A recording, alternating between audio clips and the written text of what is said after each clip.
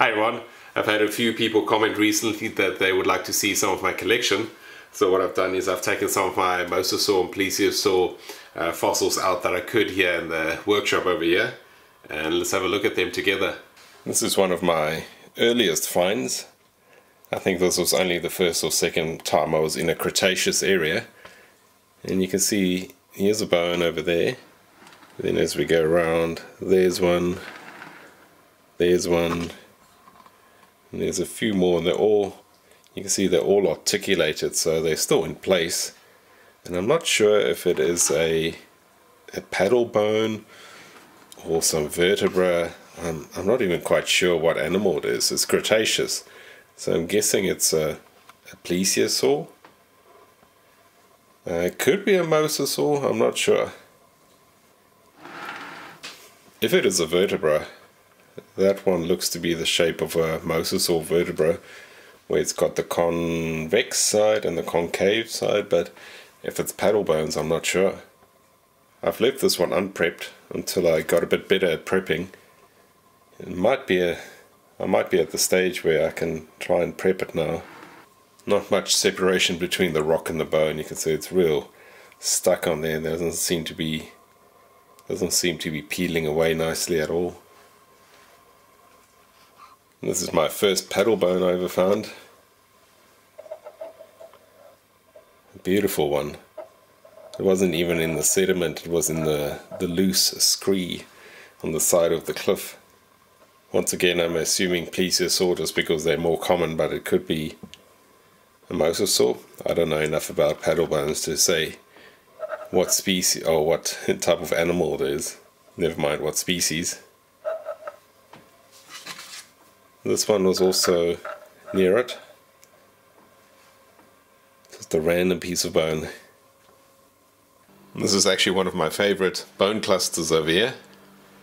Uh, it's got a lot of cracks running through it, so the prepping was a little bit tricky. But you can see these are vertebrae over there, there, section of one over there of a juvenile plesiosaur.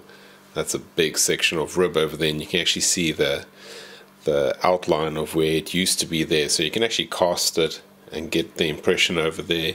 The same over there. There's a, a big bone over there. That you can still see the impression it's left. These vertebrae are beautiful. There's such a really nice texture and feel there to them. This was one of the first acid preps I did. So a combination of air scribe and acid prep you can see the really big trace fossil there.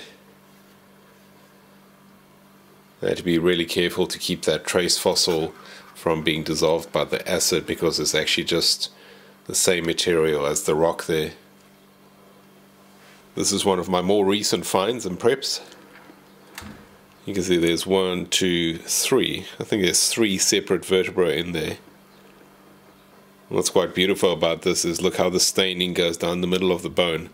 So this side has got that really black staining and then we've got a nice reddish stain on the other side. This was actually a dream one to prep. The rock was nice and soft, the matrix, and reacted really well with the acid. The vinegar dissolved so easily. I'm going to include this piece as well, but this is a bit of a mystery. You can see whatever this is coming through there, it's a very thin bone and it's quite hollow. So I'm unsure what it is. I'm to have to prep it. And it's got all these I think they're calcite crystals. Very weird fossil process going on here. Look at those crystals. Then probably my favorite plesiosaur fossil I've collected and prepped is this really big vertebra. In perfect condition normally these processes get knocked away as it tumbles down the river. But you can see it's got the center part there and the three processes. And it's so complete and quite large. It's even got this weird feature over here, which I haven't seen on many plesiosaur vertebrae. That little hollow back there. And the textures is so cool. I've made a 3D model of this one which is available on Sketchfab. You can download it for free. You can 3D print it if you want to. Yeah, this is such a cool fossil. It's one of my favorite ones. These aren't uh, plesiosaur or mosasaur vertebrae, these ones. They're really large shark vertebrae from the Cretaceous, so I've included them in this video because I don't know where else to put them. They're dinosaur age, um, because sharks have been around for a really long time. But look how big they are. I think they're about 11 centimeters in circumference. That's like four and a quarter inches, I think, across. Would have been a really big shark. I think like six meters. What's that? 18 feet. I still need to prep them. I didn't want to prep them when I found them because I wasn't confident enough, but yeah, I'll come back to these. This is one of my favorite marine reptile blocks. So marine reptile being things like plesiosaurs and mosasaurs, not a true dinosaur. And look at that paddle bone sticking out there. That's such a beautiful one. And it's so big compared to my other paddle bone. I think it's a paddle bone, but have a look at that. Just for reference. This would have been a big animal. And what's even more exciting is where did it go to now? Might have to just rotate it. But there are many, many more bones in here. Oh yeah, it's on the other side. Look at that. That's quite a large bone there and then there's another one, another one, and another one, so all in a row. And this kind of rock over here is really nice to prep. It's really big grain sizes, so it does well with the acid prepping. Yeah, I'm excited about this one. I'm confident enough now to prep this one. That's what I was doing when I was uh, starting out collecting anything that I thought was significant I didn't prep. I wanted a few years of experience.